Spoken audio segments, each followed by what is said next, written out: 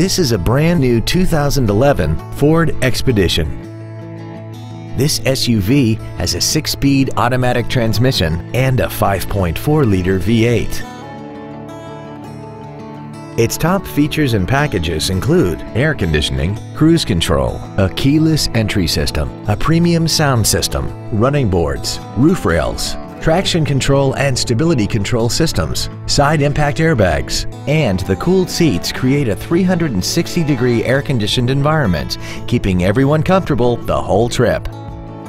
Please call us today for more information on this great vehicle.